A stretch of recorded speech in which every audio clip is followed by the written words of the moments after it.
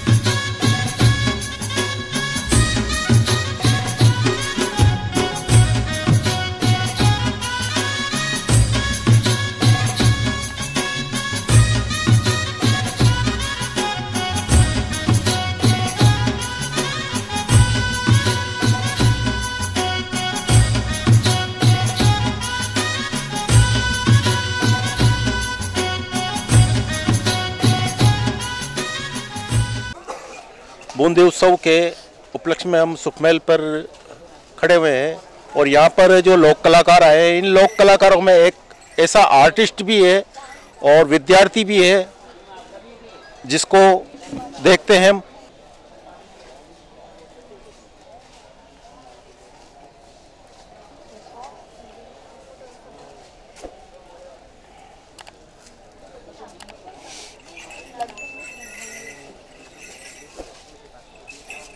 कौन सी पेंटिंग कहते हैं? इसको स्केचिंग बोलते हैं सर।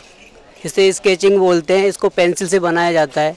इसमें कई प्रकार के स्केच होते हैं। हाइपरिस्टिक स्केच स्केचिंग और कलर स्केच और रियलिस्टिक स्केच। हो और ये लोक कलाकार भी हो इसका उद्देश्य क्या है और आप कहाँ से आए हो? मैं सर शाहबाद से आया हूँ जो बारह ज़िले में राजस्थान में है सर। और ये मैंने खुद से ही सीखा है। बूंदी शहर में जो सोशल मीडिया नेटवर्किंग को आगे बढ़ाने के लिए एक दर्शन न्यूज़ चैनल जो आप लोगों द्वारा प्रारंभ किया गया है, क्योंकि आज ज़माना सोशल मीडिया का है। सोशल मीडिया पे ही आप पूरे वर्ल्ड में अपनी बात कह सकते हैं। आपके द्वारा जो दर्शन न्यूज़ के नाम से एक प्लेटफॉर्म तैयार किया, बूंदी शहर की सभी प्रकार की समस्याएँ, उत्साह और उत्सवों के बारे में विश्व पटल पर जो एक सोशल मीडिया के माध्यम से प्रचार प्रसार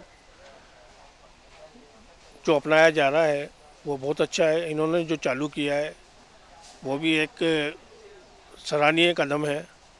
आने वाले समय में बूंदी उत्सव के माध्यम से हम लोग विश्व पटल पर जाने के लिए तैयार हैं। दो साल बाद में हमने बूंदी उत्सव को वापस जिला प्रशासन ने प्रारंभ किया है। बूंदीवासी सभी लोग आशा करते हैं कि आने वाले समय में जिस प्रकार से बूंदी कोरोना काल में एक ग्रीन केक के साथ में आगे आई तो मुझे विश्वास है कि जब भारत सरकार टूरिज़्म वीज़ा चालू करेगी तो राजस्थान का बूंदी पहला डेस्टिनेशन माना जाएगा कि जिसको लोग पसंद करेंगे। बूंदी अच्छी जगह है, सुंदर जगह है। इसको सुंदर बनाने में बूंदी के नागरिकों का, हम लोगों का, सभी लोगों का सहयोग भी अपेक्षित है। जहाँ जहाँ कमियाँ हैं, उनको पूरा करने के लिए आप जैसा प्लेटफार्म मीडिया पे जो आया है, ये हम लोगों को और बूंदी के प्रशासन को या राजनेताओं को एक नई दिशा देने का काम करेगा। आप जागरूकता फैलाएँगे। आपकी जागरूकता फैलाने के लिए आपने जो एक अच्छा प्लेटफॉर्म तैयार किया है मैं मानता हूँ कि आप बहुत आगे जाएँगे और हमारा ये न्यूज़ चैनल भी बहुत दिनों दिन प्रगति करेगा।